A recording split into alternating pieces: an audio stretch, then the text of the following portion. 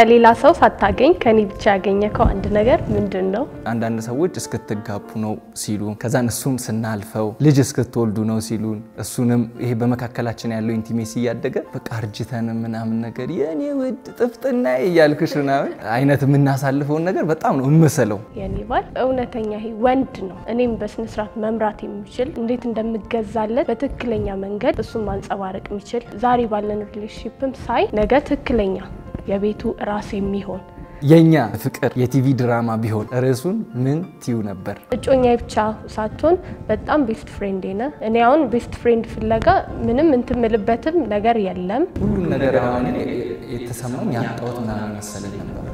ነገር የቆመ ከአምቧላ የማይስተካከል የተሰማኝ ጊዜ ላይ አንቺ በመኖርሽ ብቻ ሁሉ ነገርሻለሁ። አሁን እኮ እኔ ደስ የሚለኝ አንቺ በመኖርሽ ብቻ ነው። ይሄ best friend የሚባለው ጉዳይ እዚህ relationship ላይ ሲመጣ ጉዳት እንዳለው አላስብም ነው ወላልቀው እንደዛ መሆነች ግን አፈቅርሻለሁ። ዋናው እሺ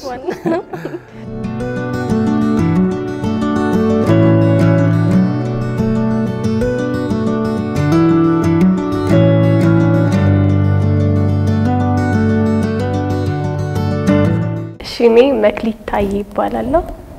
እኔ ሄኖክ ደለለው እባላለሁ።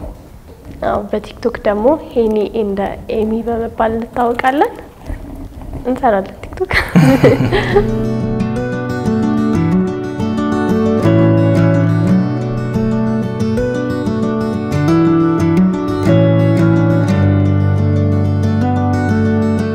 ከሌላ ሰው ሳታገኝ ከኔ ብቻ ያገኘከው አንድ ነገር ምንድን ነው?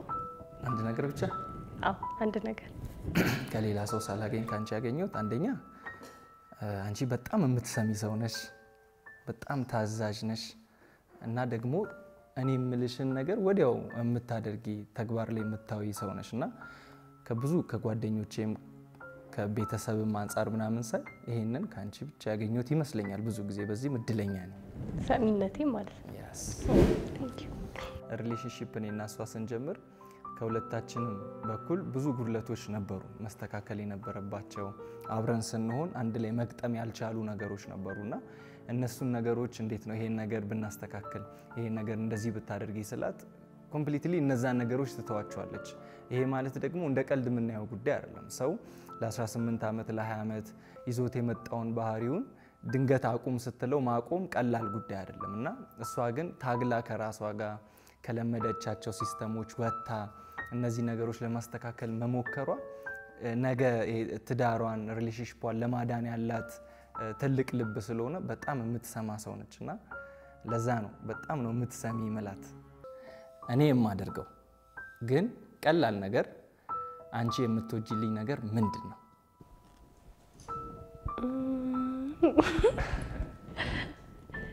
ለእኔ በጣም ትኩረት መስጠትን ይመስለኛል። ስለ አንዳንዴ እንዲህ ከጓደኞቻችንም ጋር እንዲህ በጀማም ሆኖ ሌላ ወሬም እየተወራ ምናምን ሊሆን ይችላል። ግን ትኩረት በቃ እኔ ጋር ነው። በብዙ ነገር እሱን አየዋለሁ እና በጣም ቀላል ትመስላለች። ምናልባት ስንሄድ ፈልገ የኔን እጅ መያዝ ሊሆን ይችላል ምናምን ብቻ እንደዚህ ትኩረትህ እኔ ጋር መሆኑን እሱን እወዳለሁ። የሚሰጠኝ ትኩረቶች ለእኔ በጣም ትልቅ ዋጋ ነው ያላቸው። በእያንዳንዱ ደቂቃ በእያንዳንዱ ሴኮንድ አይምሮ ውስጥ እንዳለው በደንብ እንዳስታውስ ያደርገኛል እና የሚሰጠኝ ትኩረት ለእኔ በጣም ትልቅ የሆነ ዋጋ አለው። እሺ፣ ስለ እኔ ሌሎች ሰዎች ሳይረዱት አንተ ብቻ የተረዳከው እንደ ተረዳከው የሚሰማ ከአንድ ነገር ምንድን ነው? ሌላ ሰዎች ሳይረዱሽ ያው አንቺ በጣም ትሁት ነሽ። ሰዎችን በጣም ያለ ልክ ነው የምትወጂው። ግን ደግሞ ሰዎች ደግሞ በትንሽ ነገር ሲያሳዝኑሽ ደግሞ ቶሎ የምታዝኝ አይነት ሰው ነሽ እና ይህንን ነገር ብዙ ሰዎች አልተረዱልሽም። ስትወጂ ያለ ምንም ገደብ ከሰዎች ጋር ትቀርቢያለሽ፣ ሁሉ ነገርሽን ታሳያቸዋለሽ ምናምን።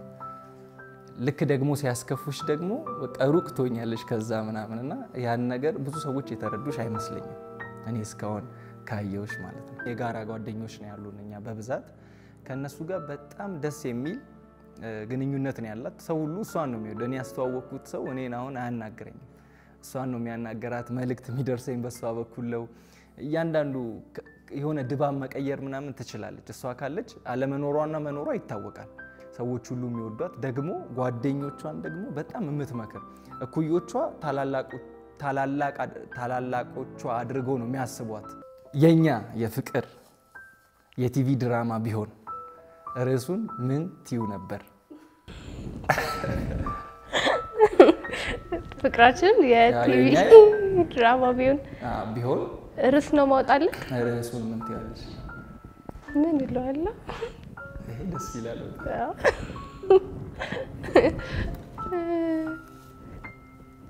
ቆንጆ ፍቅር ምን ልበለው?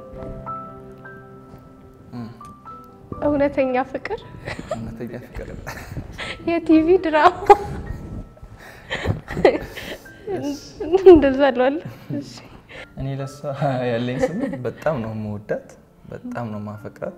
በዚህ ዓለም ላይ እግዚአብሔር ሲባርከኝ የባረከኝ እሷን ሰጥቶኝ እንደሆነ መጀመሪያ እርግጠኛ ነኝ። እና ሁል ጊዜ ሳስብ ምንድን ነው እግዚአብሔር አይደል ሰው የሚሰጠው? የተሰጠችኝ በረከቴ ነች። እንደዛ ነው ሁሌ የማስበው፣ ሁሌ የምነግራት። ደግሞ በጣም የተወደደች በጣም ጎበዝ የሆነች ልጅ ነች። በሚቀጥለው አምስት ዓመት እንድናሳካው የምትፈልገው አንድ ነገር ምንድን ነው? okay፣ በጋራ እንድናሳካው እንድናሳካው ያው እንደምታውቂው በጣም ስለ relationship እኔ መጀመሪያም ሳንጀምርም በፊት የምናወራው ይሄ በጣም ትኩረት የሚሰጠው ጉዳይ ነው። በብዙ ወጣቶች ዙሪያ ላይ ይሄ ነገር የደበዘዘ አይነት ነገር አለው ማለት ከትክክለኛው ከሆነው ከምንጩ ቀርተን አይደለም እየኖርን ያለ ነው እና ይህንን ባየው ቁጥር እኔ መጀመሪያ መኖር እፈልጋለሁ። በጣም የተሻለና እግዚአብሔርን የሚያከብር ትዳር እንዲኖረኝ እፈልጋለሁ። ከዚያ በኋላ ግን ብዙ ሰዎች የሚማሩበት ብዙ ሰዎች ደግሞ ከኛ ቁም ነገር የሚያገኙበት ህይወት የምናካፍለው ህይወት እንዲኖረን በጣም ነው የምፈልገው፣ በጋራ ማለት ነው። ማለት ትዳር ይዘን ከአምስት ዓመት በኋላ ፍሬዎች በደንብ ማየት እሺ፣ ስለ እኔ ለሌላ ሰው ማውራት ብትፈልጊ ምን ብለሽ ነው የምታወሪው? ስለአንተ ማውራት ብፈልግ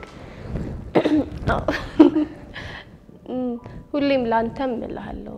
በቃ ይሄ የነገ ባሌ የኔ ባል እውነተኛ ይሄ ወንድ ነው። በቃ ወንድ የሚለውን እኔም በስነ ስርዓት መምራት የሚችል እንዴት እንደምገዛለት በትክክለኛ መንገድ እሱን ማንጸባረቅ የሚችል ዛሬ ባለን relationship ም ሳይ ነገ ትክክለኛ የቤቱ ራስ የሚሆን አንዳንዴ ብዙ ጊዜ እለዋለሁ ይሄ መግዛት የሚባለው ቃል በጣም በብዙ ነገሮች ተበርዟል። ስለ ከባርነት ጋር ከምናምን ጋር ያገናኙታል። ግን የሴት ልጅ ትክክለኛ ክብሯ ደግሞ እሱ ነው እና ያ ይሄ መገዛት የሚባለውን ጉዳይ ይሄ በቃ እንድገዛል የምታደርግ ወንድ ነህ። ሚስትህ እንዴት ማስገዛት እንደምትችል እንዴት መምራት እንደምትችል በደንብ የምታውቅ ወንድ ነህ። በቃ ይሄ ትክክለኛ ወንድ። ስለዚህ እንደዛ ብዬ ነው ለሰዎች ሳወራ ማወራው። ያው ሁሌ እነግራለሁ እኔ እዚህ ምድር ላይ ስኖር በጣም ትልቁ የተሰጠኝ gift ብዬ ማስበው አንድ እግዚአብሔር አባት የሰጠኝ ኢየሱስን ነው። ሲቀጥል ደግሞ አንተ ነህ እልሃለሁ በቃ እና ለእኔ ስጦታዬ ነህ። በጣም ነው ማፈቅርህ፣ በጣም ነው ማከብርህ፣ በጣም ነው የምወድህ። አብሬክ ብዙ አመት መኖር አብሬክ ማርጀት እፈልጋለሁ። በጣም አፈቅርሃለሁ፣ አከብርሃለሁ፣ ሁሌም ሰማሃለሁ። በጣም ጥሩና ቆንጆ ሚስት ሆነሃለሁ። ስለኛ ትልቅ ተስፋ የሚሰጥክ ነገር ምንድን ነው? ስለኛ ትልቅ ተስፋ የሚሰጥክ ነገር ምንድን ነው?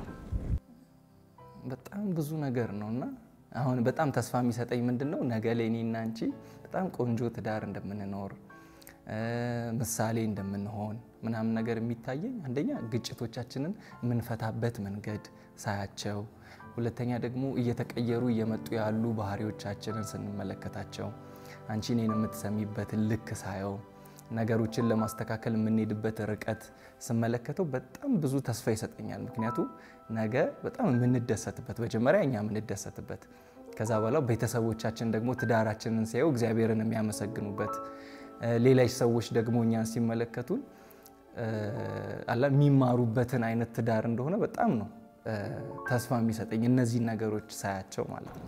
ከዛም ባለፈ እኔ እናንተ በእውቀት በደንብ እናምናለን። relationship የሚመራው በስሜት ብቻ ሳይሆን በእውቀት እንደሆነ በደንብ እናስባለን እና በጣም የምንማርም ሰዎች ነን፣ የምንሰማ ሰዎች ነን። ሰው በቃ የሆነ እዚህ ጉዳይ ላይ መማሪያ ብሎ ያቀረበውን ነገር በደንብ የምንመለከት ሰዎች ነን እና እሱም ለነገ ትልቅ ተስፋችን ነው።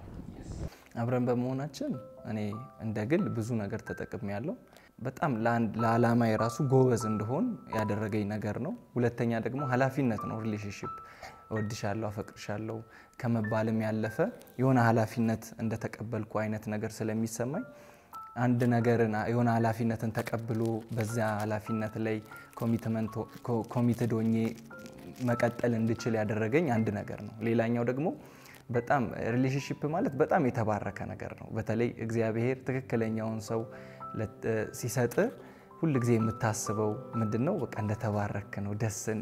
በሁሉም ነገር ደስ ይላል። ነገሮች ሲጎሉብህ relationship ህን እያየህ ምናምን የምትጽናናበትን መንገድ ታገኛለህና ብዙ ጥቅሞች አሉት። ብዙ ነገር ተጠቅሜያለሁ። ለአንቺ ያሳለፍነው ከባድ ጊዜ የትኛው ነው?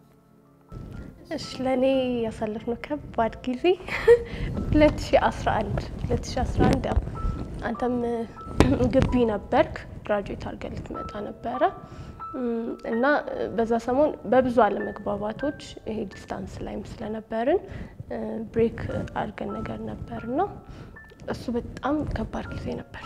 በጣም በቃ እኔ እንጃ በጣም እሱ ጊዜ ከባድ ነበር። እሱን ጊዜ አንደኛ ከባድ ያደረገው ምንድን ነው? ተስፋ አድርገን ነበረ በመካከላችን ጥሩ ነገር ይፈጠራል ብለን እና ለሁለት ወር ያለው ደግሞ በጣም የተራራቀ አይደል እና ያ ጊዜ የማይረሳ ጊዜ ነው። ግን በጣም ብዙ ደግሞ ትምህርት የተማርንበት ጊዜ ነው የማይረሱ እስከ ዛሬ እኔ አሁን ለምሳሌ አንቺን ወርቅ አድርጌ የኖርኩበት እኔ ጋ ስትሆኚ እንዳትቀይብኝ እኔ ጋ አብሬ ሲያገኝ ስደውልልሽ ነይ እስቲ ካፌ እንሂድ ምናምን ስልሽ በፈለግኩበት አይነት ሰዓት ሳገኝሽ እኔ ጋር እንዳትቀይ ያደረገኝ ያ ጊዜ ነው። ምክንያቱም አንዳንድ ጊዜ እንደዚህ ነው ነው በጣም የምንወደውን ሰው ዝም ብለን ስለምናገኘው ይቀልብናል እና ቢሄድም ምንም የማይመስለን አይነት ስሜት ይሰማናል። ያ ጊዜ ግን ልክ ለሁለት ወር ሳጣሽ እኔ ለካ አንቺ በህይወቴ ውስጥ ምን አይነት ሰው እንደሆንሽ ምን አይነት በቃ የተባረከ እግዚአብሔር ሲባርከኝ አንቺን እንደሰጠኝ የገባኝ ያኔ ነው። ግን በሌላ ጎኑ ስናየው ግን በጣም ከባድ ጊዜ ያሳለፍንበት ቢሆንም እርስ በርስ ያለን ዋጋ በደንብ አሳይቶናል። እሺ እስካሁን ያላደረግነው ግን እንድናደርግ የምትፈልገው አንድ ነገር ምንድን ነው? እስካሁን ያላደረግነው እንድናደርግ የምትፈልገው አንድ ነገር ምን? እስካሁን ያላደረግነው አልተጋባንም እና እግዚአብሔር ሲረዳ አሁን ደግሞ ይረዳናል። በቅርቡ እንጋባለን። እሱኛውን? ያለ ልክ ነው የምፈልገው። ቆንጆ መልስ እግዚአብሔር ሲወደን እየሰጠን ነገር እንደሆነ ሁሌም አስባለሁ። ለአላማዬ በጣም እንድጸና ብዙ ነገሮችን እንዳቅ ያለኝን አቅም ከኔ በላይ እሱ በደንብ ያውቃል እና በዛም ጉዳይ በጣም ይደግፈኛል እና እኚህ ብዙ ነገሮችን ከአላማ ከራይም አንጻር በደንብ ተጠቅም ያለው ለዚህ በደንብ ጠቅሞኛል። እሺ ስለ እኛ ስታስቢ ሁል ጊዜ ፈገግ የሚያሰኝሽ ትውስታ ምንድን ነው? አንቺ እንደውም አትረሺ። አዎ ብዙ ናቸው። ይሄ በሰባት ዓመት ቆይታ በጣም ብዙ ትውስታዎች ነው ያሉት። ግን ይመስለኛል ይሄ ግቢ እያለክ ተማሪ ነህ ትመጣለህ። እኔም ያኔ ተማሪ ነኝ እና ብር ምናምን እጃችን ላይ እንደፈለግ ነው የለም በቃ እንደፈለግን ሳይሆን የለም በቃ እና የሆነች ብር አንተ ጋር ካለች ወይ ሀያ ብር ካለች እኔ ጋም የታክስ ብዬ የምቀበላት የሆነች ብር ካለች እሷን እንትን እናጋጭና በቃ ይሄን ነው የምታዥው ምናምን ተባብለን ካፌ እንገባለን። ከዛ በቃ ወይ ሻያችን እንጠጣለን።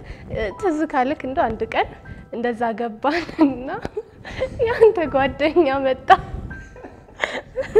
መጣና ቁጭ አለ ደግሞ የነበረ በጣም ትንሽ ለእኛ ብቻ የሚበቃ እኛ ፕላን አድርገን የገባ ነው እንዲኖሩን። ከዛን ገባን መጣ። እሱ መጣና ምናምን ቁጭ አለ አዘዘ ጠጣ ምናምን። ከዛን መጣ። ያን ሰሞን የነበረው ይሄ ጭንቃችን ምናምን ከዛ በኋላ ይሄ ፈላልገን ምን ብለን ነው የሆነ መልሶቻችን ተጋጭቶ እሱን ከፈለ ነገር እና በቃ ይሄ ግቢ እያለ ስመጣ የምናሳልፋቸው እነዛ እንትኖች አይረሱኝም። አዎ። እሺ እሺ፣ ለአንተ ያሳለፍነው ከባዱ ጊዜ የትኛው ነው? ጥያቄ ደግሞ ለእኔ ያው ቅድም እንዳልኩሽ ነው ያ 2011 በጣም ከባድ ነበር። ለሁለታችንም ብዙ ጊዜ ከባድ እ፣ የተፈጠረው ምንድን ነው? ሁለት ነገር ነው። የመጀመሪያው እኔ ከእሷ ጋር ስገናኝ ከኔ ጋር አታወራም፣ ከጓደኞቿ ጋር ትጫወታለች። ከኔ ጋር አብረን ቁጭ ስንል ግን ብዙ ዝምታ ነው የምታበዛው እና የሆነ ወሬዋ ላይ በላይ እየመሰለኝ መጣ። ሁለተኛው ደግሞ አንዳንድ ጊዜ እጃችን ላይ ድንገት ያገኘነው ነገር ይቀልብናል እና ድንገት እጄ ላይ አግኝቻት እንደፈለግኩ ሳገኛት ስደውል ስታነሳልኝ ምናምን ያ ነገር ቀለለብኝ እና በቃ ብንለያይም እኮ ምንም አይመጣም ማለት በቃ አንቺም ፍላጎት የለሽም። ለዚህ ብንለያይ ሳይበጀን አይቀርም አይነት ነገር ብለን በቃ እኔ ነኝ እንለያይ በቃ አልፈልግም። ከዚህ አይነት ነገር መቀጠል ብዬ ልክ አንድ ሳምንት ምናምን ሲቆይ ይከብደኝ ጀመር። እና ራሴን የማሳምነው ምንድን ነው እለምደዋለሁ። የሚለመድ ጉዳይ ስለሆነ በቃ ቀለል ብዬ እለምደዋለሁ አይነት ነገር ሆነ። ልክ ትንሽ እየሄደ ሲመጣ ግን እሷ በህይወቴ ላይ ትክክለኛ ሰው እንደሆነች እሷን ማጣት እንደሌለብኝ አይነት ነገር ገባኝ። ጊዜያቶች እየሄዱ ሲመጡ ሰው ጉልበቱ እንደሚጠቅም የሚያምነው ጉልበቱን ያመመው ጊዜ ነው እና እኔ ኳስ እጫወታለሁ። አንድ ቀን ልክ ጉልበቴ ወድቄ ተጎድቶ ነበር እና መሄድ ሳልችል መቀመጥ ሲከብደኝ ምናምን ለካ ጉልበቴ ይህን ያህል ጥቅም አለው አይነት ነገር ብዬ የተረዳሁት ያኔ ነው እና ከእሷ ጋርም የተለያየን ጊዜ ትልቁ ያስተማረኝ ነገር በጣም የተባረከች ልጅ እንደሆነች ነው የተረዳሁት። ከኛ ግንኙነት የተማርሽው ትልቁ ትምህርት ምንድን ነው? በጣም የተማርኩት ነገር ቢኖር ግልጽ ማውራት ግልጽ ማውራት ሁሌም አሁን ለምናገኛቸውም ሰዎች እንዲህ ለሚጠይቁን የምናወራው ነገር እሱ ነው። ግልጽ ማውራት በጣም ብዙ ነገሮችን ያቀላሉ። ስልክ እቺ ትናንሽ ጠብታ ውሃ ነች አለትን የመሰንጠቅ አቅም ያላት እና የሆነ ጉዳይ ወይ የሆነ የሚረብሸኝን ነገር አንተ ላይ ካየው ወይ የሚበጠብጠኝን የሆነች ጉዳይ አንተ ጋር ካገኘው ነገርየው ምናልባት በጣም ትንሽ ሊሆን ይችላል። ግን ትንሽ ስለሆነ ብቻ ሳይሆን እኔ ግን ያ ጉዳይ ከተሰማኝ በግልጽነት ማውራት በቃ ከኛ ፍቅር በጣም የተማርኩበት ብዙ ሰዎችን መማር አለባቸው ብዬ ማስበው ነው። ይሄ ልብ ላይ የሚያድር ነገር መኖር የለበትም። ይሄ መጥፎ ነገር ልብ ላይ ያደረ ዝም እያልን ወይ ይሄ ትንሽ ነገር ነው በጊዜው ይፈታል ምናምን እየተባለ ዝም የሚባሉ ነገሮች በጣም ብዙ ነገሮችን ያፈርሳሉ። እንደዛ አለት ብዙ ነገሮችን መሰነጣጠቅ ይችላሉ እና ግልጽነትን በጣም እማራለሁ። ሌሎች ተምሬበታለሁ። ሌሎችም ሊማሩት ይገባሉ ብዬ አስባለሁ። የተሰማን ስሜት በግልጽ ማውራት በጣም ወሳኝነት አለው። እኔ ለጠየቀኝ ካፕል ሁሉ ወይ እንድነግራቸው ለሚፈልጉ ሰዎች በጣም ማውራት የምፈልገው ስለሱም ነው። በቃ ግልጽነት በጣም ትልቅ ዋጋ ነው ያለው። አንዳንድ ነገሮች ላይ ይሄ ድብቅ ሆነን ከስሜት አንጻር ሊሆን ይችላል፣ ወይ ካለፈ ታሪክ ሊሆን ይችላል። ይሄ ስሜት ስል ውስጣችን የሚፈጠር ስሜቶች በየቀኑ ይኖራሉ። አብረክ ስትኖር እኔ አሁን አንተን ዛሬ ነው ያገኘውክ ከኔ ጋር ይሄ ተገናኝተን የምንሄደው ነገር ነው። ግን አብረክ ከምትኖረው ሰው ጋር ደግሞ በጣም ብዙ አይነት challenge ኦች ይፈጠራሉ። ብዙ አይነት ክፍተቶች፣ ብዙ አይነት ጥሎች ይፈጠራሉ። እነዛን ሁሉ ጥል አሸንፎ ነገ ጥሩ ትዳር መኖር የሚቻለው ነገ በጣም ጥሩ የሆነ ህይወት መኖር የሚቻለው በጣም ግልጸኝነት ሲኖር ነው ብዬ አስባለሁ። እኔ ተሰምቶኝ ይሄ ነገ ብዬ ማሳድረው ነገር እንዲኖር አልፈልግም። በቃ ተናግሬ አውርተን መገላገል ከዛን ቀሪ ነጋችንን በጣም ቆንጆ እንዲሆን ነው የምፈልገው እና ግልጽነት በጣም ትልቅ ዋጋ አለው። ይሄ ነገ ለመቀጠላችን እንደው ዋስትና የሚሆን ጉዳይ ነው እና ሰው ሁሉ የተሰማውን ነገር የተፈጠረበትን ትንሽም ሆነች ከተሰማው ግን ወዲያው መናገር እና ይሄ ወደ ማስተካከል መሰራራት የሚባለው ጉዳይ እንኳን ይሄ ግልጸኝነት ላይ የተመረኮዘ ነው ብዬ አስባለሁ። አንድ ላይ የሚሄዱ ጉዳዮች ናቸው እና ግልጸኝነት በጣም ወሳኝ ጉዳይ ነው። ወደፊት አብረን ስናረጅ አስበከው ታውቃለህ? ስታስበውስ እንዴት ነው የሚታይክ?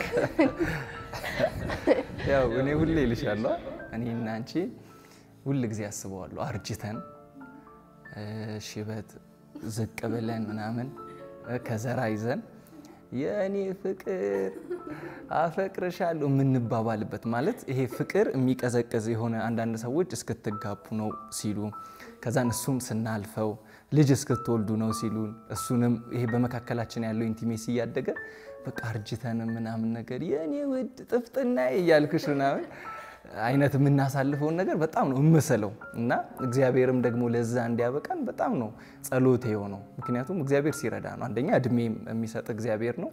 ሁለተኛም ደግሞ በመሀላችን ያለውን ነገርም በስርዓት ኢንቲሜሲያችንንም የሚጠብቅ የሚጠብቀው ጠባቂ አይደል እግዚአብሔር የሚጠብቅልን እግዚአብሔር ስለሆነ ጌታ እንዲረዳኝ እጸልያለሁ። ታውቂያለሽ፣ ለአንቺ እነግርሻለሁ። ጌታ ደግሞ ይረዳል። ይረዳል። አርጅተሽ ማየት እፈልጋለሁ። እኔም አርጅተህ ማየት ሽበት በሽበት ሆነ ምናምን ጥርሶችህ ወላልቀው እንደዛ መሆነች ግን አፈቅርሻለሁ። ዋና ነው። እሺ ከኔ የምትወደው ትልቁ ውይ አንተ ነህ። አዎ እሺ በጣም ውስጥሽ ያለ ጥያቄ ነው ማለት ነው። እሺ ልክ እንዳንቺ እንድወድልሽ የምትፈልጊው አንድ ነገር ምን ሊሆን ይችላል? እንደኔ ቤተሰቦቼን በቃ ከቤተሰቦቼ ጋር በጣም ጥሩ የሆነ ግንኙነት ያለው ባል እንዲኖረኝ ቤተሰቦቼን በጣም የሚወድ ባል እንዲኖረኝ እፈልጋለሁ። በቃ ይሄ እናቴ ይሄ ከእናት ጋር እንደምታሳየው ቅርበት ከአባ ጋም እንደዛው ከእህት ከወንድሞቼ ጋም እንደዛው የምታሳይ እንድትሆን ቤተሰቦቼን በቃ እፈልጋለሁ። እሺ relationship ውስጥ ላሉ ሰዎች ለሁሉም አንድ ነገር መምከር የምፈልገው ነገር እጃችሁ ላይ ያለውን ነገር አክብሩት፣ ውደዱት። እግዚአብሔር የሰጠን ለእኛ ብሎ የሰጠን ያ ሰው ለእኛ በጣም perfect የሆነ ሰው ነው። ግጭት ይኖራል፣ ጥሎች ይኖራሉ። ግን የተሰጠን በረከት ከግጭቶቻችን ይበልጣሉ። ከጎደለብን የሆኑ ኩርፊያዎች ከመጡብንና ከእያንዳንዱ አይነት ችግሮች የተሰጠን ነገር እንደሚበልጥ ሁል ጊዜ ማሰብ የተሻለ ነው። ከእኔ የምትወደው ትልቁ ባህሪ ምንድን ነው?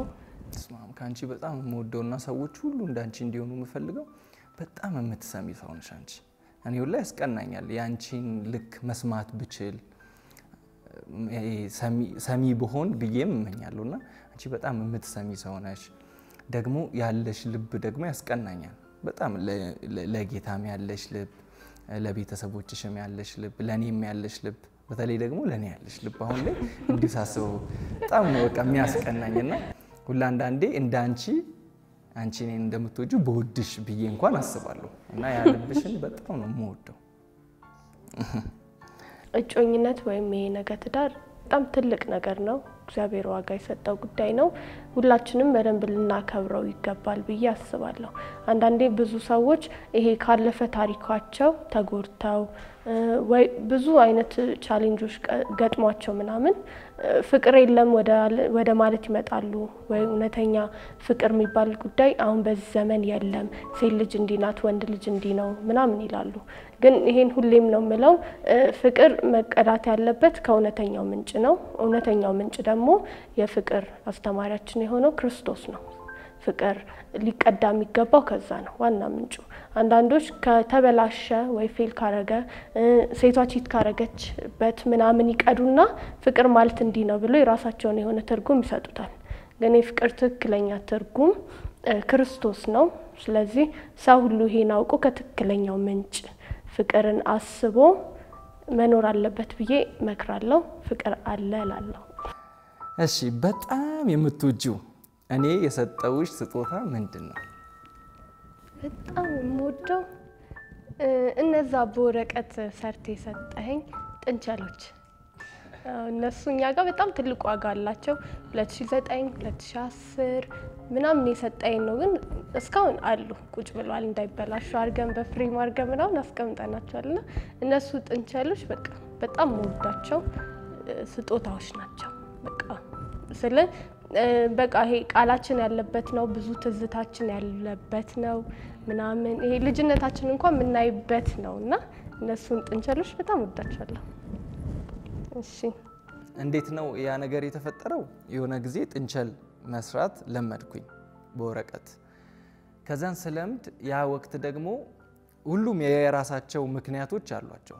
ከሰጧቸው አንደኛው ምክንያት በጣም ጎበዝና የምታነብ ልጅ ስለነበረች አንድ ቀን እንደዚህ ያልኳት፣ አንቺ እኮ መጽሐፍ ለምን አትጽፊም? በጣም ውስጥሽ እኮ ጥሩ ነገር አለ ስላት ሳቀችብኝ። በጣም ከት ብላ ኧረ በእናትህ ዝም በል ምናምን አለችኝ። እና ትዝ እንዲልሽ ብዬ ጥንቸል ወረቀቱ ላይ ብዙ ነገር ጽፌ አንድ ቀን እናነበዋለን እና በጣም ጽፌላት ጥንቸሎችን አድርጌ ምናምን ቀኑን ጽፌ ሰጠዋት እና ይሄኛውን ቀን ስታስቢው ይህንን ልክ ሲሳካ ይህንን ቀን አስቢው አንቺ ጎበዝ እንደሆንሽ ውስጥሽ ደግሞ እግዚአብሔር የተሻለ ነገር እንዳስቀመጠ ያኔ ትዝ ይልሻል እና የሳቅሽብኝንም ሳቅ ያኔ እንስቀዋለን አልኳት እና ሰጠዋት። እግዚአብሔር ረድቷት ደግሞ ከሰጠኋት ከሁለት ዓመት ከምናምን በኋላ መጽሐፏ ታተመ። ከዛን መጽሐፏ በጣም የሚገርም ነበረ። በጣም ብዙ ሰዎች ወደውታል። ያንን ስናየው እሷም ማመን የከበዳት ማለት የምር ለካ ውስጤ የሆነ ነገር አለ ማለት ጀመረች እና ያኛው ነገር ትውስታ ጣለልን። ሁለተኛው ደግሞ relationship ላይ ስንሆን ተጣልተን አንድ ላይ ከሆነን በኋላ አንድ ቀን ቁጭ አድርጊያት እንደዚህ አልኳት፣ ካሁን በኋላ አንቺ ለእኔ ወርቄ ነሽ፣ ወርቅ ሆነሽ መዳብ አትሆኝብኝም። በጣም የተሻልሽ የከበርሽ ሆነሽ ነገ ላይ የሆነ እንደ ርካሽ ምናምን ነገር የማይሴጥ አይደለሽም። ሁል ጊዜ ስኖር እንደፈለግኩ ስጠራሽ ሳገኘሽ፣ እንደፈለግኩ ስደውልልሽ ስልክ ስታነሽልኝ፣ ነይ እንሂድ ስልሽ አብረሽኝ ስትሄጂ፣ ነይ እንግባ ስልሽ ስትገቢ አላቀልሽም።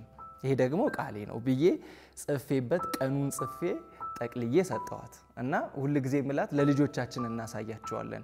ነገ maybe ጊዜው ተበላሽቶ በጣም የተበላሸ ዓለም ላይ ስላለን ፍቅር የለም ምናምን ሲባል okay አባቴና እናቴ ይኸው በእንደዚህ አይነት ጊዜያቶች ውስጥ አልፈዋል እንኳን እንዲሉ እናሳያቸዋለን ብዬ የሰጠኋት ነበር። ዛሬም still ነው ደግሞ በጣም የምወዳት በጣም የምሳሳላት አይነት ልጅ ነች። ከኔ ጋር በፍቅር ግንኙነት መቆየት አስቸጋሪ ጎኑ ምንድን ነው? የእውነቱን የእውነት ነው ማውሮን የነበረው በሚለው ጥያቄው ከአንቺ ጋር ለመቆየት አስቸጋሪ ጎን የነበረው በሚለው አይነት ነገር ልመልስ። ምክንያቱም አሁን ሁሉ ነገር ተስተካክሎ እግዚአብሔር ይመስገን ቆንጆ ላይ ስለሆነን ማለት ነው። አሁን በፊት ከባድ የሆነው ነገር አንደኛ በጣም አኩራፊ ነሽ አንቺ። በስመ አብ ስታኮርፊ እኔ ሁላ አንዳንዴ ቀናብሻለሁ በኩርፊያሽ እና በትንሽ ነገር ነው የምታኮርፊው ምናምን እና እሱ እሱ ነገር በጣም ከባድ የሆንብኝ ነበር። እንዴት ነው ነገ አብረን ስንኖር የሚል ሀሳብ የሆንብኝ ነበር። ሁለተኛ ደግሞ የጀመርን ሰሞን ላይ ምንድን ነው ያጋጠመኝ? ከጓደኞችሽ ጋር ምናምን ትጫወቻለሽ፣ እኔ ጋር ስትመጪ ግን በቃ ጸባይ አውሪ አንተ እንዳልከው በስመ አብ። የኔ ግን ከባድ ነበር። አዎ እና ያን ሰሞን እኮ እኔ የሚገርመኝ እኔ አንድ ሰዓት ምናምን አወራለሁ ከዛ በኋላ እስቲ ሀሳብ ስጭበት በዚህ ሲባል አንተ እንዳልከው የሆነ ነገር አንተ እንዳልከው እና ምንም አታወሪም። እና ሲሰማኝ የነበረው ምንድን ነው በቃ ወይ ፍላጎት የላትም ወይም የሚለው ነገር እና ያ ጊዜያቶች ከአንቺ ጋር እንዳልቀጥል የሚያደርጉኝ የነበሩ ከባድ ጊዜያቶች ናቸው ብዬ አስባቸዋለሁ። ካለኝም ትልቅ አክብሮት መሰለኝ ያሉት ከኔ ጋር የሚማሩ ምናምን ናቸው። አንተ ደግሞ የግቢ ተማሪ ነህ እና ገና የተቀራረብን ሰሞን ስለሆነ ፍርሃቱ አለ እና በደንብ እንትን ማለት አልችልም። እሱ ጊዜ ግን ከባድ ነበር። አሁን ተቀያይረናል። ያው እሷ በጣም አኩራፊ ነች። ይሄ ባህሪዋ ደግሞ በሚገርም ቤተሰብ ያውቀዋል። እውቅና አግኝታለች ከቤተሰብም ከዛ በኋላ አልፎም ደግሞ ጓደኞቿ ጋር ስትሄድም ከጓደኞቿም እውቅና አግኝታለች እና ሁሉም ተቀብለዋታል። እና አሁን እነሱ የሚያስቡት ምንድን ነው በቃ እሷ አኩራፊ ነች ብለው ነው የሚያልፉት። እና ይሄ ደግሞ ለእኔ ከባድ ሆነ። እኔ ጥሩ ጊዜ ከእሷ ጋር አሳልፋለሁ ብዬ ልክ ሲሄድ በትንሽ ነገር እንጣላለን። አውርተን የምንፈታው ጉዳይ ነው። ታኮርፋለች። ያንን ጊዜ ሰላማችንን እናጣለን። በቃ በጣም ይደብረኛል። ከእሷ ጋር በመገናኘቴ ደግሞ ስህተት ነው እንደ ሰራሁት እላለሁ። እኔ እንደውም ብዙ ጊዜ ያስቸግራለሁ። እንለያይ እላለሁ። ልክ እንደዚህ አኩርፋ ምናምን ስል በቃ ለምን አንለያይም እላታለሁ። ምንድን ነው ከዚህ በላይ ምንድን ነው የምትፈልጊው? መለያየት አይደል የምትፈልጊው? በሌላ አማርኛ እየነገርሽኝ ነው እንለያይ ብለሽ ለምን የምር አንለያይም እላለሁ። ከዛን ያኔ ደግሞ no no no በጣም እኔ የታየኝ ነገር አለ ትላለች። በጣም እኔ እና አንተ መቀጠል አለብን ነገ የተሻለ ነገር እንሆናለን ትለኛለች። ከዛ በኋላ ደግሞ እንቀጥላለን አሁንም ሲል ከዛን ከሆነ ጊዜያቶች በኋላ ግን በቃ እኔም ልለምደው ጀመርኩኝ ኩርፊዋን። ግን ብለምደው እንኳን አያስቀጥለንም። ስለዚህ አንዳንድ ነገሮችን እንድታስተካክል የእኔ ኃላፊነት ሆነ ማለት ነው። ለዚህ በስርዓት እንዴት ኩርፊዋን ማስተካከል እንዳለባት እየታገስኳት የተሸከምኳት እንድታስተካክል ማድረግ ስለነበረብኝ ያንን አደረግኩ። አሁን ደስ የምትል ትንሽዬ አኩራፊ ነች አሁን እና እሱንም ደግሞ ባይስተካከልም ብዙ ችግር አይፈጥርም። እሺ በጣም እንደወደድኩሽ እንዲሰማሽ የሚያደርገው ምን ሳደርግ ነው? እንደወደድከኝ መጀመሪያ ያልኩት ነው። አንድ በጣም ለእኔ ትኩረት ትሰጠኛለህ። ትኩረትህ ምንም ጊዜ ቢሆን እኔ ጋር እንደሆነ በብዙ መንገድ አያለው። ሲቀጥል በጣም ታጋሽ ነህ። ችለኸኛል፣ ተሸክመኛል እና ትዕግስትህን ሳያው ምናምን ለእኔ ትልቅ ፍቅር እንዳለህ በዛ በደንብ አያለሁ። እሱ ስንኖር ሰዎች የሚያሳዩን በጣም መልካም የሆነው ጎናቸውን ነው። በጣም perfect የሆነ ጎናቸውን ነው። ያንን ጎናቸውን ብቻ አይተን የእኛ ስንጋጭ አይተን ኦ በቃ እኛማ ችግር አለ በመካከላችን የሆነ ማያስማማን ነገሮች አሉ፣ በቃ እንለያይ አይነት ነገር መባል መቻል የለበትም። maybe እነሱ ጥሩ ጎን ያሳዩን ሰዎች ጓዳቸው ብንገባ ብዙ የሚጣሉበት የሚጋጩበት፣ okay በዚህ እኛ እንሻላለን እንዴ የምንልበት ነገሮች አሉና ማንም relationship ውስጥ ያለ ሰው መጀመሪያ ያለበትን ይውደደው፣ መጀመሪያ በጣም ያለበትን ይቀበለው፣ ያክብረው። ያኔ ሌሎች ነገር ቀላላቸው እየተስተካከሉ ይመጣሉ። ትዕግስትህ በቃ በጣም ከሁሉም ጊዜ የበለጠ በሚገባ እንደተረዳው የተሰማ ጊዜ መቼ ነው? በጣም በተለይ 2012 ላይ 2012 ላይ ቢዝነስ ምናምን ጀምሬ ያ ቢዝነስ ምናምን ነገር አሉ አሉን ብሎ ምናምን ያለ ፌል ያደረገበት ሰዓት ምናምን ላይ በጣም ደብሮኝ ነበር እና ያ ሰዓት ላይ ያሳየሽኝ ከኔ ጋ ያለ ልብሽ በቃ እንዳይደብረኝ የምታደርጊበት መንገድ ምናምን በጣም ነበር የሚያስገርመኝ እና መቼም የምረሳው ጊዜ አይመስለኝም ያኔ።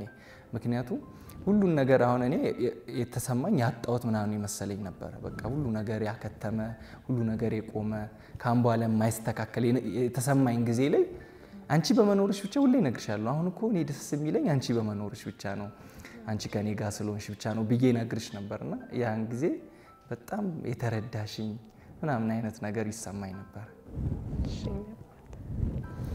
እሺ እኔ እንኳን ብዘነጋ ሁል ጊዜ የምታስታውሽኝ ውድ ማንነቴ ምንድን ነው? በጣም ጎበዝ ነህ። ብዙ ነገሮች ላይ በጣም ጎበዝ የሆንክ ወንድ ነህ። ስልክ ይሄ በአገልግሎትም እንዲሁም ደግሞ በተሰጡት በየትኛውም ኃላፊነት ላይ በጣም በቃ መስራት የምትችል ስትሰራ ደግሞ በደንብ የምታሳካ በጣም የሚያምርብህ አይነት ሰው ነህ እና እሱን ጉብዝናህን አንተ እንኳን ብትረሳው እኔ በብዙ አስታውሳለሁ። ከዛ በተጨማሪ ደግሞ መካሪነትን በጣም መካሪ ነህ። በብዙ መንገድ ያንተ የአፍ ቃል ሲከናወን ፍሬ ሲያገኝ ብዙ ሰዎች ላይ የሆነ ተጽዕኖ ፈጥሮ ነገሮች ተስተካክሎ ምናምን ያለው እና እሱን ነገርህን አንተ ብትረሳው እንኳን እኔ ማስታወስህ ውዱ ማንነትህ ነው። አሁን ብዙ ሴቶች ስለ መገዛት ሲያስቡ ይሄ ጭንቅ የሚላቸው ጉዳይ ነው። እሱ ምናልባት ጭንቅ ያላቸው ጉዳይ ወይ ትክክለኛውን ትርጉም አላወቁትም ወይ ጎናቸው ያለው ሰው ደግሞ ያን ትክክለኛ ትርጉም እንዲያውቁ አላደረጋቸውም ብዬ አስባለሁ። መገዛት ማለት ያኛው ሲጨኩን ወይ ያኛው በጣም እንትን ሲያደርጋቸው እንዳልሆነ ይሄ መረዳት አልቻሉም ብዬ አስባለሁ። እሱ ግን ይሄ ወንድን ያልኩበት ምክንያት እኔን እንዴት መምራት እንዳለበት በደንብ ያውቃል። በቃ ይሄ በምንሄድበት እስካሁን በመጣንበት ጉዞ ላይ እኔ እሱን እንዴት ልሰማው እንደሚገባ እንዴት አድርጎ እንድሰማው እንደሚያደርግ በደንብ ያውቃል። እኔ እሱን ሺ ብዬ ታዝዤ እንድኖር ይሄን ስል ይሄ በግዴታ የሆነ ጉዳይ ሳይሆን በጣም ፈቅጄ ወድጄ ለሱ መገዛቴን እሱን መስማቴን በምን አይነት መንገድ ማድረግ እንዳለበት በደንብ ያውቃል። አሁን ነገ ቤቴን ራሱ ሳስብ የነገ ትዳሬን ሳስብ በጣም ነው ምቾት የሚሰማኝ። በቃ በጣም ደስ እያለኝ ነው። ይሄ ወደ ትዳርም ሲሄድ መሄደው በጣም ደስ እያለኝ ነው። ይሄ ኃላፊነት መቀበል ይችላል። እኔን ከብዙ ነገር አንጻር እንዳልኩ ከአላማዬም ከራዬም ነገ በጣም ጎበዝ ሴት፣ ጎበዝ ሚስት፣ ልባም የሆነች ሚስት እንደሆን በደንብ አድርጎ መስራት መቅረጽ እኔም በትክክለኛው መንገድ መምራት የሚችል ወንድ ስለሆነ በቃ ወንድ ነው ላለው እሺ ሁልጊዜ ስለ እኔ እንድታስታውሱ የሚያደርግ አንድ ሙዚቃ ምንድን ነው? ያው መዝሙር ምንድን ነው መሰለሽ ሁል ጊዜ ስሰማው አንቺ አይኔ ውል ለምትይ በጣም ስለምትወጁ ይሁን ምን ይሁን አላውቅም። ምክንያቱም ይሄ እንትን የሀና ተክሌ መዝሙር ሰው አባቱን እና እናቱን ይረሳል የሚለውን የሰርግ አንዱ በጣም ስዘም ሁሌ ሲከፈት ምናምን በቃ የሆነ ፊትሽ ሁላ ይቀየራል ምናምን በጣም የምትወጁ ሁሉም ሰው ደግሞ ያውቃል በዚህ ነገር። እና እሱን እሱን ስሰማ በቃ አንቺ ትዝ እና ተክሌም በጣም ወዳታለሁ። ያው እሱ ደግሞ ከኔና ከአንተ ጋር እንጂ ትዳርም ስለሆነ ይሁን በቃ ጥሩ እንትን አለ መቼም ነው ያደላል። ማንጎራጎሩ ሲቅር ሀና ተክሌን በጣም ወዳታለሁ። አዲስ አለም አሰፋን ወዳታለሁ። መዝሙሮቻቸውን ሁሉን እወዳለሁ። የሀና ተክሌንም እወዳለሁ። ግን ማንጎራጎር አይሆንም ድምፄ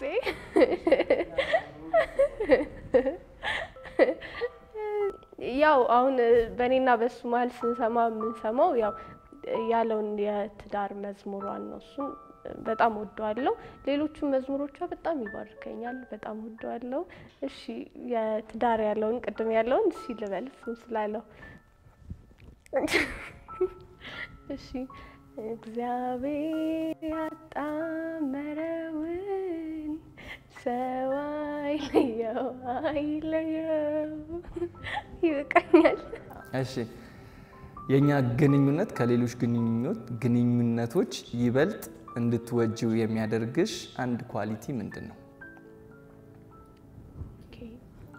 ቅድምም ብያዋለሁ።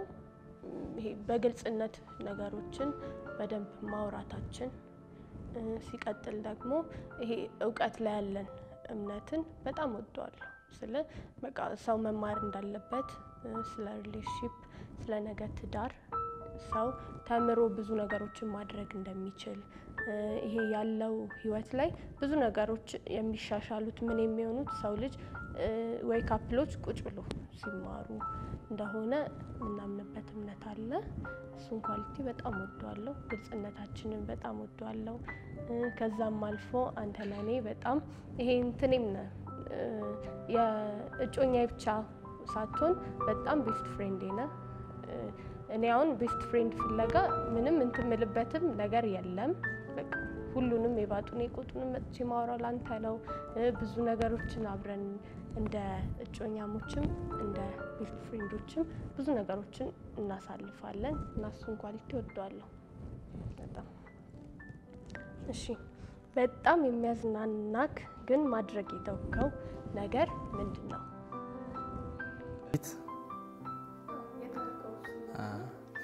እኔ በጣም የሚያዝናናኝ ኳስ መጫወት ነው። ቤት ራሱ ድሮ የምገረፈው በዚህ ነው እና በጣም ኳስ መጫወት እኔ ያዝናናኛል። ግን በተለያየ አይነት ምክንያት ግን ከጊዜ ጋር በስርዓት ማስተካከል ስላልቻልኩኝ የጤና እንኳን ለመጫወት ና የሚመች ጊዜ ላይ ስላልሆነ በዛ በዛ ምክንያት ተውኩኝ እንጂ ድሮ የሚያዝናናኝ ኳስ ምናምን መጫወት በጣም ያዝናናኝ። አሁን ግን እጀምራል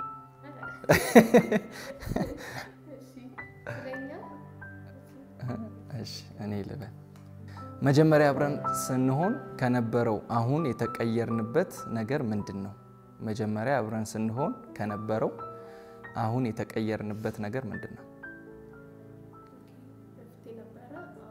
የተቀየረ ነገሮች በጣም ብዙ ነገሮች ላይ ገደብ ማበጀት መሰለኝ። በፊት ላይ እንደዛ አልነበርንም። ስልክ ለብዙ ነገሮች ገደብ የለንም። ይህ friendship ላይ የሚመጡ ነገሮችን ጎትተን ወደ relationship እናመጣቸዋለን። እና እነሱ ነገሮች ደግሞ ልክ እንዳልሆኑ በብዙ መንገድ ተምረን በብዙ ነገር አውቀን ምናምን ብዙ ነገሮች ላይ ገደብ አበጅተናል ከብዙ ነገር አንጻር እና እሱ ነገር መሰለኝ እኔ ነበርኩ በጣም አስቸጋሪ ስልክ። ተማሪ በእርግጥ አሁንም ተማሪ ነኝ፣ ግን ይሄ high school ኦቹ አካባቢ ያለው በጣም ብዙ ጓደኞች ነው ያሉ በቃ በጀማ ነን እና እነሱን ጓደኞቼን ይሄ ወንድም ይሁን ሴትም ይሄ best friend ምላቸው በጣም ብዙ ነበሩ እና በተለይ ወንዶች ጓደኞች እንዳለ ወንዶች ናቸው እና ይሄ best friend የሚባለው ጉዳይ እዚህ relationship ላይ ሲመጣ ጉዳት እንዳለው አላስብም ነበር። በቃ እሱን ጭራሽ አይምሮ ውስጥ አልነበረም። እሱ እጮኛዬ ነው፣ ያም best friend ኤ ነው፣ እነዛም best friend ኦች ናቸው ብዬ ነበር ምኖረው እና እሱ እሱ ገደብ አለማበጀታችን የመጀመሪያ ሰሞን በጣም challenge አድርጎን ነበር። በቃ ግን ከጊዜ ሂደት በኋላ ብዙ ነገሮችን ስናቅ ይሄ best friend ም የሚባለው ጉዳይ እዚህ relationship ላይ ማያስፈልግ ጉዳይ ነው። ይሄም ሁለታችንም በትልቅ እምነት በትልቅ confidence የምናወራው ጉዳይ ነው። የጋራ ጓደኛ ነው እንጂ ይሄ ሴቷ ለብቻ ገንጥላ best friend የምትለው ወንዱም እንደዛው ሊኖር የሚገባ ጉዳይ አይደለም። እዚህ ላይ ስትመጣ በጋራ የምታሳልፈው ጉዳይ ነው እንጂ የሆነ እኔ የሆነ ነገር ሲሰማኝ ሮጬ ሄጄ ማወራበት የሆነ መጥፎ ስሜቶች ከእሱ ጋርም ሲፈጠር ሮጬ ሄጄ የምናገርበት ነገሮች እኚህ የሆኑ አይደለም። relationship ላይ ሲመጣ የ friendship ላይ ስታደርገው እንደነበረው የሚሆን ጉዳይ አይደለም እና ለሱ ጉዳይ በደንብ ገደብ አበጅተናል። እሱም በብዙ ነገር ጎድቶናልም። ገደብ ካበጀን በኋላም ደግሞ በጣም ፍቅራችንን የተሻለ እንዲሆን አድርጎታል። እሱ ጉዳይ በደንብ አድርጎታል። ሌላኛው ደግሞ ይሄ በፍቅር ምንድን ነው የፍቅር ቃላቶች ናቸው የሚባሉት። ይሄ ውዴ፣ ፍቅር ምናምን የሚባለው ጉዳይ ያገኙትንም ሁሉ ማለት የሆነ ሰሞን ላይም እንደንትን ስለነበረ እሱ ጉዳይ በጣም challenge አድርጎኝ ነበር እኔን እያንዳንዱ ቃል እኔ እሱ ጋር የምጠቀማቸው ቃላቶች ዋጋ እያጡ መጡ። በቃ ሁሉንም ምልበት ላይ እዚህ መጥቼ ስለው ዋጋ እያጣ መጣ። እሱም ጉዳይ ለካ እዚህ ጋር ሲመጣ ደግሞ ገደብ ይፈልጋል። ይሄ በፊት እንደነበረው ምትሆኑ አይደለም። በፊት እንደምትጠራራ ምትጠራራ አይደለም። ሁሉንም ስታገኝ እንደዛ ምትል አይደለም። ይሄ በጣም ለየት ያለ ስፍራ ስለሆነ አክብረክ እነዛን ቃላቶች ለዚህ ሰው አክብረ ማድረግ ያለብህ ጉዳይ ነው እና እነሱ ጉዳዮች የመጀመሪያ ሰሞን በጣም challenge ያደረጉን ነበረ። ግን እግዚአብሔር ይመስገን እግዚአብሔር በብዙ እውቀት ረድቶን ደግሞ ገደብ አበጅተን ገደባችንም በጣም ጠቅሞን ደስ ብሎን እየኖርን ነው። እሺ ስለ እኔ ማንም እንዳያዩብክ የምትፈልገው ትልቁ ማንነቴ የምትወድልኝ ምንድን ነው? ሰዎች ያላወቁት እኔ ብቻ ያየሁት የምትለው ውብ ማንነት። የልብሽን ንጹህነት በጣም ልብሽ ንጹህ ነው። እና ይሄንን ሁል ጊዜ በቃ እያየሁት ሳየው ብቻ ደስ የሚለኝ ነገር ስለ አንቺ ሳስብ ስለ አንቺ ባህሪ ልብሽ ንጹህ ነው፣ የዋነሽ እሱን እሱን ሳየው በጣም ነው ደስ የሚለኝ። እና ይሄንን ሰዎች አላወቁትም ወይ የሚለውን አላቅም። maybe አጠገቦችሽ ያሉ ሰዎችም የሚያውቁት ነገር ነው ብዬ አስባለሁ። ግን እኔ በብዛት እሱን ነገር ሳየው ሌላም ሰው ያውቃል። እሺ ያለ እሺ ጥያቄ በጣም ደስ የሚል ጥያቄ ነው። ምንድን ነው? ያለ ማንም ረብሻ ሙሉ ቀን ብቻችንን ብናሳልፍ ምን አይነት ብሎ እናሳልፋለን? ሀቅ የመጀመሪያ እንጣላለን። ያው ያለ ነው። በጣም ረጅም ጊዜ ስታሳልፍ ምናምን የሆኑ ትንሽ ነገሮችን ቢሆን ያጨቃጭቁናልና እንጣላለን። ከዛ እንታረቃለን። በጣም ብዙ እንስቃለን። የሆኑ ነገሮችን እያነሳን ሙድ እንይዛለን ምናምን መሰለኝና ጥሉም አለ የሆነ ሳቅም አለ። ብቻ ቆንጆ የሆነ ጊዜ እናሳልፋለን። እሺ ልክ እንዳንተ እሺ ልክ እንዳንተ እንደወድልህ የምትፈልገው አንድ ነገር ምን ሊሆን ይችላል? ልክ እንደኔ ልክ እንደኔ እንድትወጂልኝ የምፈልገው ነገር በቃ ራዕዬን በጣም እኖርለታለሁ ብዬ የማስበውን ያንን አላማዬን በጣም ልክ እንደኔ በጣም የምትወጂው ደስ የሚልሽ ምናምን ነገር እኔ ሳየው ምናምን ሳስበው ደስ እንደሚለኝ እንደዚያ ደስ እንዲልሽ በጣም ነው የምፈልገው። ያው ሌሎችም ነገሮች አሉ፣ ግን አንድ ነገር ስላልሽኝ ነው። ቤተሰቦቼን አንቺ ትወጃቸዋለሽ፣ በጣም ነው የምታከብሪያቸው። ይህንን ስለማቅ በጣም ደግሞ የምፈልገው ነገር ያ ነው። የእኔ የመጨረሻው ጥያቄ እሺ እንደ ጥንድ በሰዎች ሁሉ ዘንድ እንድንታወስበት የምትፈልጊው አንድ ነገር ምንድን ነው? ብዙ ናቸው የምፈልገው ነገር